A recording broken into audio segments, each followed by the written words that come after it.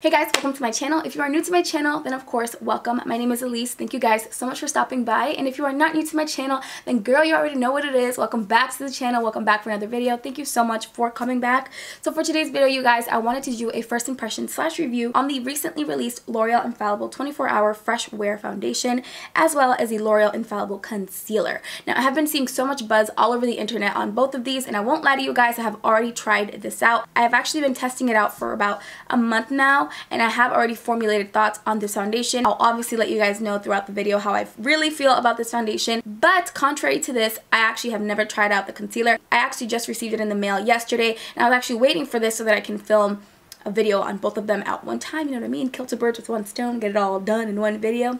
So yeah, you guys, I'm super excited for this video. You guys already know I'm all about drugstore makeup. I'm all about trying out products that are affordable. I'm a huge advocate for makeup doesn't have to be something that breaks the bank and it should be something that most people can afford.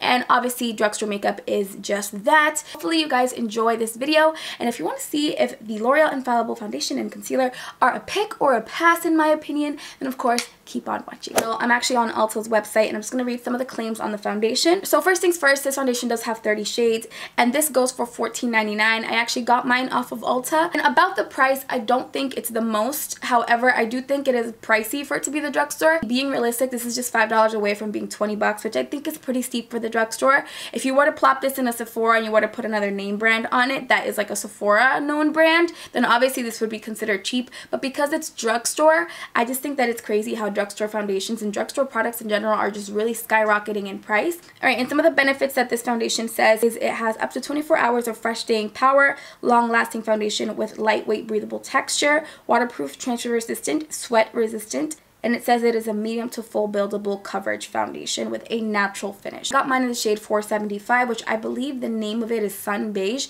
This is one of their releases from their Infallible line. For those of you like me who had oily to oily combination skin, Pro Matte Foundation from L'Oreal was definitely my jam back in the day. I can't find it unfortunately. I might have gotten rid of it because it was pretty old. But then I also have here the L'Oreal Infallible. This is the Pro Glow, I think. I found this one in my drawers. I'll be honest, I never reached for this one just because I do have oily skin. I felt like this just made me look hella oily to the point where I just looked crazy in these streets. So I usually never reach for this one. I still have it in my drawers though, so I don't know why. But I never really liked this one. I did, however, love the Pro Matte Foundation. But it seems like when they came out with this, they totally revamped everything. It looks like now we got a pump and all that good stuff. So I'm excited to obviously test this out for you guys today. Like I said, I already have my thoughts. But of course, you guys have not seen it on my skin yet. So moving on to the concealer, this is what we have here. Now just looking at it at a glance, this is so comparable to the Tarte Shape Tape in terms of the way that it looks. Where it has like this chunky kind of thicker tube and I'm sure that the wand is probably on the thicker side too like that thick wand which I like. I actually do like the thicker style wand because I just feel like you get a lot less pumps to actually get the job done so I actually really do love that. For some reason the packaging here doesn't say what shade I got but I will list all of that down below for you guys. Oh I totally lied. It's up here.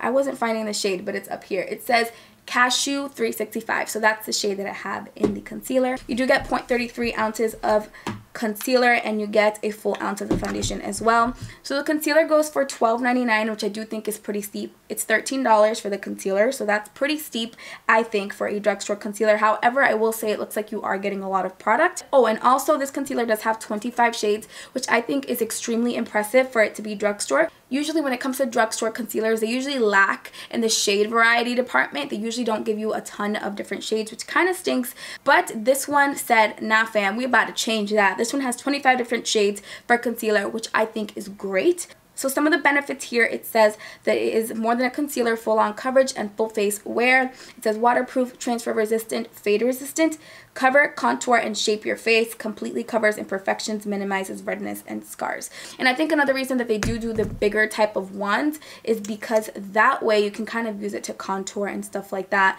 Um, and you can have more space to work with and you're not doing tiny little lines if it was like a tiny wand, you know what I mean? Um, it says here this concealer provides full coverage with a flawless matte finish.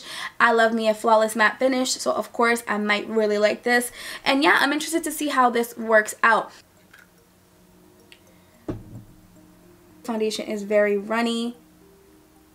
So I don't know how full coverage it's going to be. So of course, I'm obviously going to let you guys know, but I just wanted to point that out. I do feel like it's extremely runny. I forgot to tell you guys also, but I have already primed my face. I'll leave the primers that I used down below. I'm just going to put it on one side of my face so you guys can see the difference.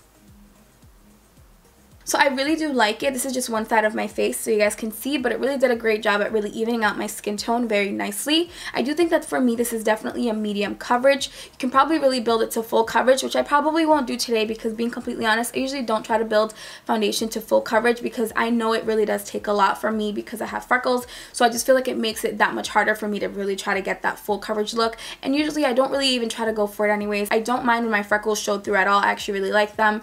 Um, so I actually like the way that it's looking right now. As you guys can see, my skin is not looking extremely matte. I feel like on my forehead you can still see a little bit of kind of like natural glow which I really like. I do think that when it says that it has a natural finish that does prove to be very true because it does appear to look very natural. really liking that so far. So now what I'm going to do is go ahead and do the other side real quick and then I'll come right back and put the concealer on. So now that I've applied the foundation, this is how my skin is looking right now. As you guys can see, I do feel like I have a very natural finish and I will say also with confidence that this is a very lightweight foundation.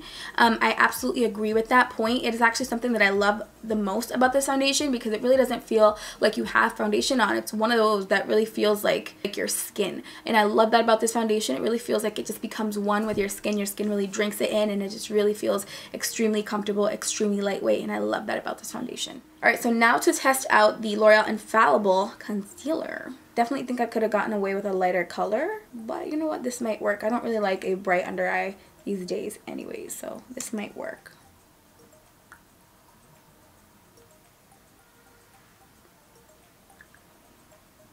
So I got you guys in a little bit closer, but as you guys can see, it definitely seems to be a full coverage concealer because as you guys can see, my freckles are basically gone. And you guys can still see them through on this side with the foundation only, but the minute I put the concealer on, it almost feels like they just totally disappeared because it definitely is a full coverage concealer. I do feel like it's a little bit more hydrating, which I love. I have been all the way here for a hydrating under eye concealer just because I have noticed as of late that my under eye area has been very dry. So I have been reaching for a hydrating not too hydrating because I don't like too much hydration either but I have been reaching for a concealer that is full coverage but a little bit more hydrating because it really doesn't accentuate any of my dry texture under my eyes so I really do like the way that that looks guys I really like it. I even like the shade and everything.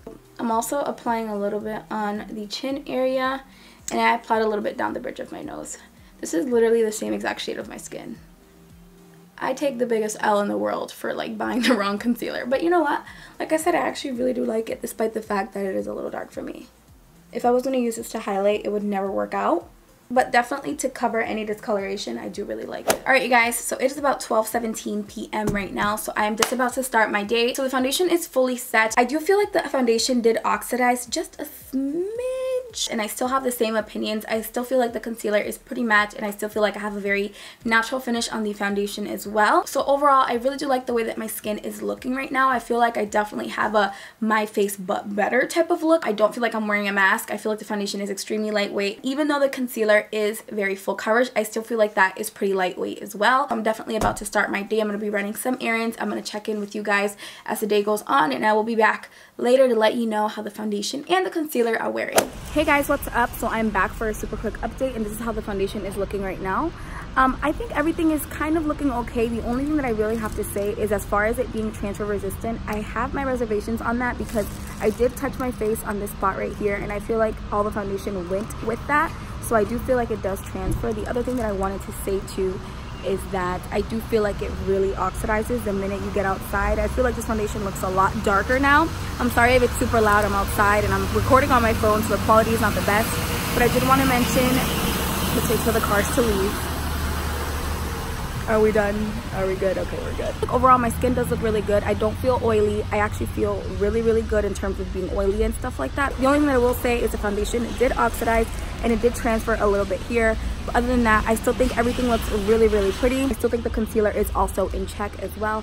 And I don't think I mentioned the time, but it is 4.30 p.m. right now, so it has been a little over four hours with the foundation and the concealer on. But other than that, I do think everything still looks really, really good. And I will check back in with you guys later on for my final update. Alright guys, so I'm back with my final update for the night. I'm actually exhausted, so my eyes are actually bloodshot red.